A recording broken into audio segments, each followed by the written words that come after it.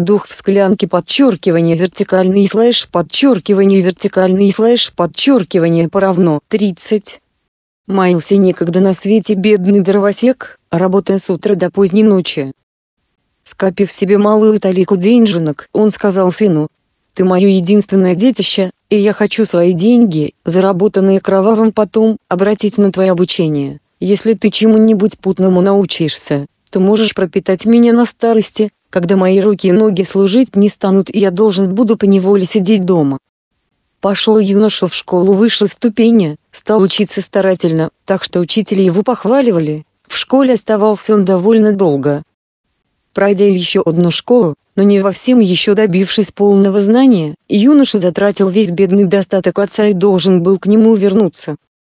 «Жаль», — сказал отец с грустью, Жаль, что ничего более не могу тебе дать, а по нынешней дороговизне не могу отложить ни грошика, зарабатываю только на насущный хлеб. Дорогой батюшка, — сказал юноша, — не заботьтесь об этом. Коли есть на то воля Божия, то все устроится к лучшему, я как-нибудь уж сам справлюсь. Когда отец задумал ехать в лес на заготовку дров, чтобы на этом что-нибудь заработать, сын сказал ему, «Я пойду с вами стану вам помогать». «Сыночек», — сказал отец, — трудненько это тебе будет. Ведь ты к тяжелой-то работе не привычен и ее не выдержишь, да к тому же у меня всего один топор, и денег нет на покупку другого. «Ступайте к соседу», — сказал сын, — «призаймите у него топор на время, пока я сам себе на топор не заработаю». Занял отец топор у соседа, и на следующее утро пошли они на рассвете в лес вместе. Сын помогал отцу и при этом был свеж и бодр. Когда солнце стало у них над головой, отец сказал, вот теперь подохнем да пообедаем, так потом работа еще лучше пойдет. Сын взял свой кусок хлеба в руки и сказал, «Вы, батюшка, отдохните, а я-то не устал, хочу побродить по лесу и поискать птичьих гнезд». «Ух ты, шутник! Чего тебе там по лесу бегать? Еще устанешь так, что и руки не поднять будет. Сидел бы лучше здесь со мною, Однако же сын ушел в лес, съел свой хлеб и стал весело посматривать в чащу зеленых ветвей, не видно ли где гнезда. Так ходил он туда и сюда, пока не наткнулся на громадный ветвистый дуб, старый-престарый и толщины это в пять обхватов. Остановился он под дубом, посмотрел на него и подумал. На этом дубу, вероятно, ни одна птица свое гнездо сливает. И вдруг ему показалось, что он слышит как будто чей-то голос, Стал прислушиваться и, точно, услышал, как кто-то говорил глухим голосом. «Выпусти меня, выпусти меня!» Стал он кругом оглядываться и ничего не мог заметить, однако же показалось, будто голос выходил из-под земли. Тут он и крикнул «Да где же ты?» Голос отвечал «Я тут, около корней дуба». «Выпусти, выпусти меня!» Стал юноша рыться под деревом и разыскивать около корней пока не отыскал небольшой стеклянный сосуд, запрятанный в ямке. Поднял он склянку, посмотрел против света и увидел, что там прыгает что-то вроде лягушки. «Да выпусти же, выпусти меня!» Воскликнуло снова это существо, юноша, ничего дурного не предполагая, и вытащил пробку из склянки. Тотчас же вышел из нее какой-то дух и начал расти, расти так быстро, что в несколько мгновений перед изумленным юношей предстало страшное чудовище ростом с полдуба. «А знаешь ли ты?» — воскликнуло чудовище страшным голосом. «Чем вознагражу я тебя за то, что ты меня оттуда выпустил?»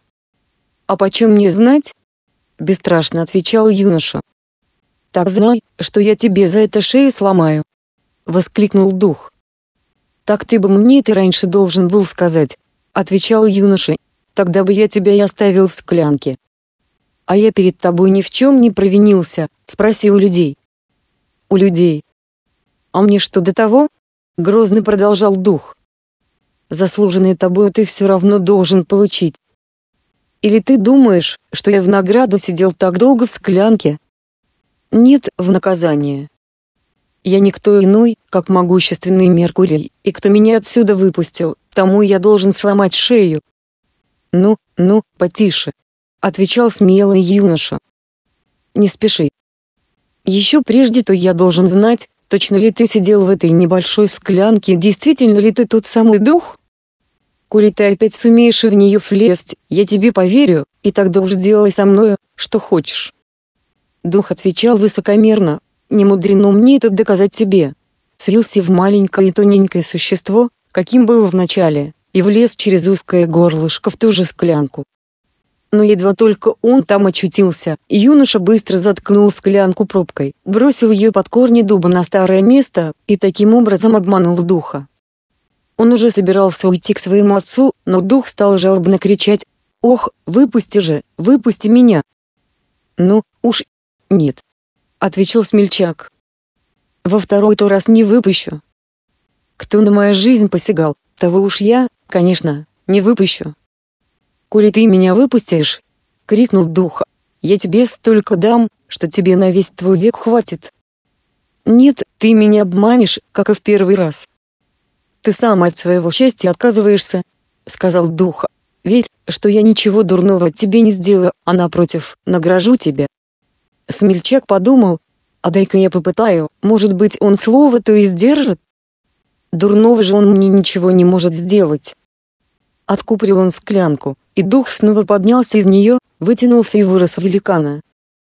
«Вот тебе твоя награда», — сказал он и подал юноше маленькую тряпочку вроде пластыря, добавив, «Если ты этим краем проведешь по ране, то рана заживет, а если другим краем потрешь сталь или железо, оно обратится в серебро».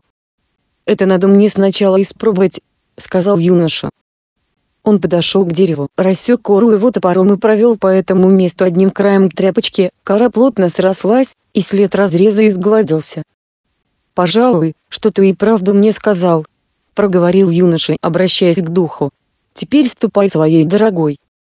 Дух поблагодарил его за свое освобождение, а юноша поблагодарил духа за подарок и направился к отцу своему.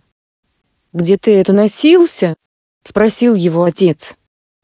Зачем забыл о работе? Я же ведь сразу тебе сказал, что ты на это дело не пригоден. Не бойся, батюшка, еще успею нагнать. Ну, да. Нагнать. Это уж не порядок. А вот посмотрите, батюшка, как я сейчас это дерево срублю, только треск пойдет. Тук взял он свою тряпочку, провел ее по топору, и ударил им о дерево со всего размаха, но железо превратилось в серебро, и лезвие топора загнулось. «Э, батюшка, посмотрите, что это за дрянной топор вы мне дали, его совсем покривило». Отец перепугался, что ты наделал. Ведь я теперь должен буду платить за топор, а чем я платить буду? В этом только и весь прок от твоей работы. Не сердитесь, батюшка, отвечал сын. За топор уж я сам заплачу. Ох, ты, дурень, крикнул отец. «Из каких денег ты заплатишь? У тебя только то и есть, что я тебе дам». Набрался всяких ученых затей, а в дровосеке не годишься.